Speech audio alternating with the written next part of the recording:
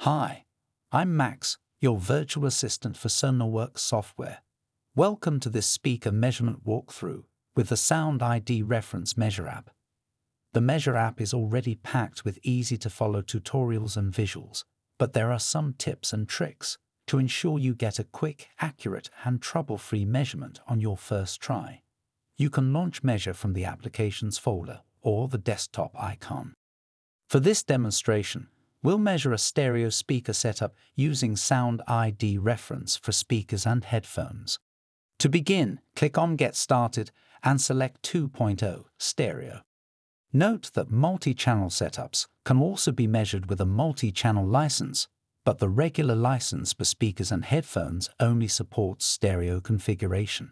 For instructions on how to measure a stereo setup with a subwoofer unit, check the support article linked below. Click Next to proceed.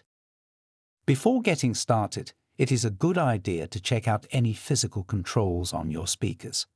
EQ knobs, high and low pass filters and other controls should be nullified, and the volume levels between the speakers should be matched. It is best to start off with neutral settings. Now let's get back to the setup checklist and take care of the basic requirements for speaker measurements. Sonarworks measurement microphones require 48 volt phantom power, which must be turned on on your audio interface it's crucial to use a proper XLR to XLR cable and avoid other connector types. If you don't get a signal from the microphone, try using a new cable. Audio interface. I'm using an Audient interface, and I have my microphone and speakers connected to it. It is essential to have both your input and output connected to the same device. It's okay to use an additional microphone preamp unit but avoid using two different audio interfaces for your I.O. And lastly, direct monitoring must be disabled. You shouldn't hear anything from the speakers if you tap on the mic. You should only see the input signal indicated on the screen visually. To do this, mute or turn down the mic channel while keeping the gain up. This covers the basic setup requirements for speaker measurements, but there are some additional tips and tricks to utilize in order to avoid getting stuck. The key to quick and easy measurements is simplicity. We recommend disconnecting all other audio hardware during the measurements, such as monitor controllers and other gear, leaving only your primary audio interface in the chain. If your audio interface or speakers feature any built-in DSP capabilities or effects processing, make sure those are turned off or bypassed. The same logic applies to software components. Close down all other audio software, such as virtual audio devices, DAWs, advanced audio capture and routing software. In conclusion, any hardware or software that uses your audio interface should be disconnected or disabled. After clicking Next, we'll select our microphone input channel. If the desired input channel does not show up in the drop-down menu, Check the linked article below for possible solutions. Tap the mic to see the input level. If you can't see any input signal, double check if the correct input channel is assigned, or go back to the initial setup checklist to make sure everything is in order. Proceed to the next step. If you own a Sonarworks microphone, enter its ID here. The ID is printed on the mic.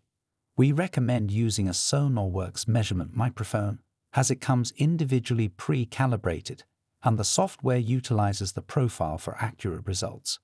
If you have a different measurement microphone, proceed with the second option.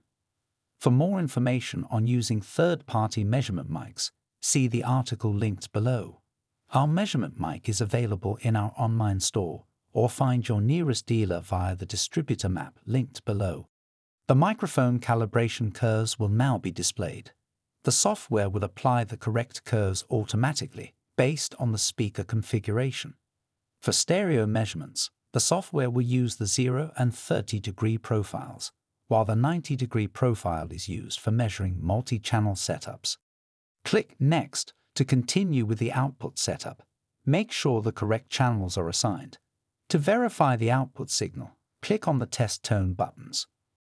Left speaker, right speaker, It's a good idea to check for any stereo image issues during this step, as small panning inconsistencies might not be audible. Panning should be centered. Please adjust the volume of your output device. My voice should sound at normal conversation volume. And you should also check your interface control software for any unusual settings that might interfere with the stereo image. Once done, click on Yes, my volume is set. A few things to keep in mind.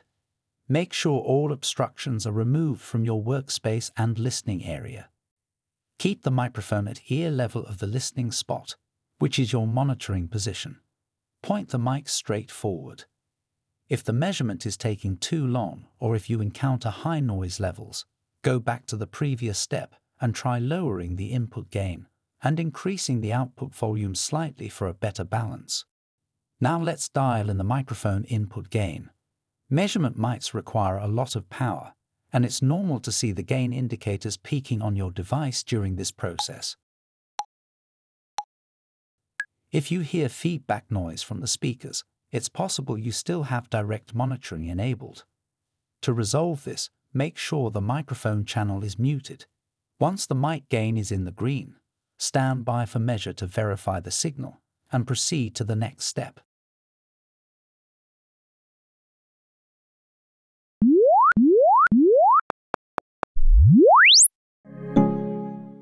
Then select the metric or imperial system and move on to the listening spot stage, which establishes the dimensions of our listening area. We're now about to do some up-close measurements of our speakers. For this, we'll have to identify the mid-range drivers of our speakers. This is simple for regular two-way speakers.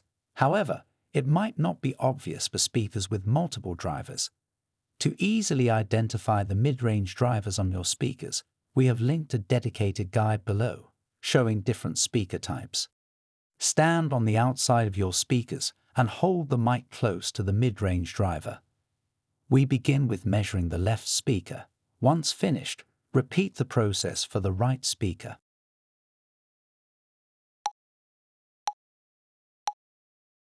Stay where you are. Measurements in progress. Right speaker done. Review the dimensions and make manual adjustments if needed. Use a tape measure to verify the actual distance. Keep in mind that some differences between the measured and actual distances are expected. Usually, the measurements will be a few centimeters off, but the Measure app can work with an error margin up to 20 centimeters, depending on the workspace and room properties. If the difference exceeds these values, chances are the setup requirements are not being met. In severe cases, an error dialog will pop up hinting towards the culprit. In such cases, follow the suggested support articles or find solutions in the Measure app troubleshooting guide linked below. Once done, you'll be asked to do the same in the listening spot to finish this step.